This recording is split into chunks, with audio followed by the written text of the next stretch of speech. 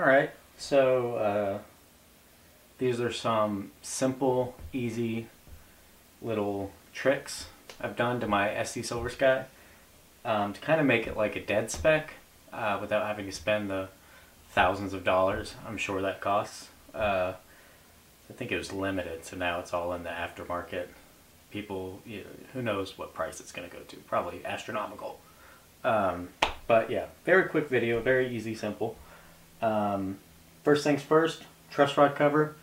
I was, I rushed into getting that. When I first got the guitar, I found an actual Silver Sky, you know, core model truss rod cover for like 12 bucks. I was like, I'll just buy that, whatever. And of course, PRS does what PRS does. And it's just slightly too small. So it doesn't cover the gap there. Um, which, honestly, my eyes have become blind to it. I don't really care anyway. Um, but I'm sure you might. And now they make somebody, I, I want to say on Etsy or Reverb, somewhere easy to find, somebody makes a cover for the SEs that are just like in the core model style that will fit properly, which I need to get, but I haven't yet. So that's one. That's not even necessarily dead spec, you know, oriented, but two is obviously the uh, truss rod or truss rod, the uh, the string bar. So that I got for I want to say like eight dollars on Amazon. Um, I did a terrible job putting it on, um, but that's you know it's neither here nor there. It, I got it for the aesthetic, the look of it, um, but it does create a little more uh, break angle for the the uh, the nut and the strings, you know. So it gives it a little more, a little bendier of a feel, a little more play, a little more slinkiness to it, which I like, um, but not much. It's not gonna change the feel entirely of it, but it is really nice to look at. It does make restringing a lot more annoying, um, which I didn't consider one bit until I did it, and then I had to restring. And I was like, hmm, this kind of sucks, but it's not that bad, and it looks cool, so I'm happy with it. Um, my buddy who builds guitars, uh, Eric Freestyle, I'll link his channel in there. Go check him out. I do a bunch of videos with him.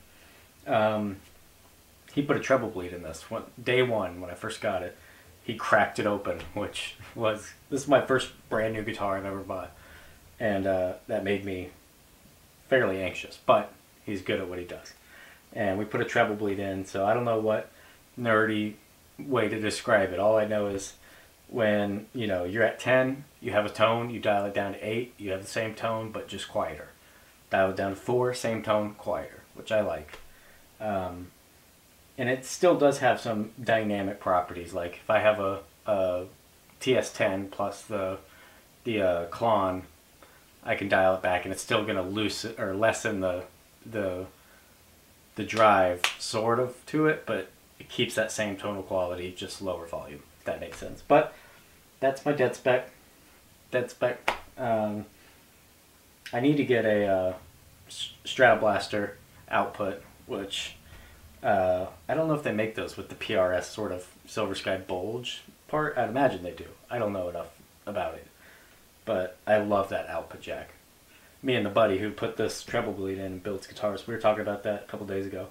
How fantastic that output jack for this Silver Skies are. I can't live without it now. Any normal Strat, it's like, ugh. To like dig a well to get the, the cable out. Where this, you just go bing bonk. Another thing I did um, as you can see, is install this install. I screwed in this DiMarzio uh, quick release strap. I saw John Mayer have it on his guitar, and in true Mayer boy fashion, I was like, I have to get that. It's like 30 bucks, I think. Great, great Strat. I never have to worry about this coming off. Um, I used to have a 335, and I had these little rubber strap locks that kind of slid over the it was very nerve wracking, thinking that it might fall. I you could I could drop this, dangle it off a building. I'm not worried it's gonna fall. These are sturdy, and it just looks cool, man. And I love this color. Fits really well with the moon white. I believe it's the color on the silver sky, with the moon white. So yeah, I'm happy with that. Uh, and this little frog here is a gift from a Special Gal a while ago, so it's still around, it's still hanging out. It'll be there till the end of time. And I like this this vibe. It looks nice. It's a good balance. And I think it'll be, you know, 100% once I get the Strata Blaster, um, among many other things. You could go forever upgrading it, but I do want to get the uh, locking PRS tuners as well, which I don't have, and they don't come in the Silver Sky SE. So, yeah. And I think I want to block the trim. I don't know. I could ramble for hours, so let's cut it there.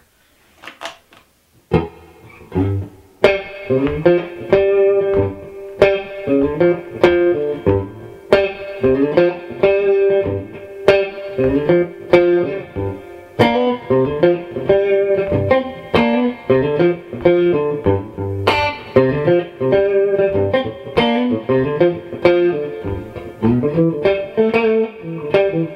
Música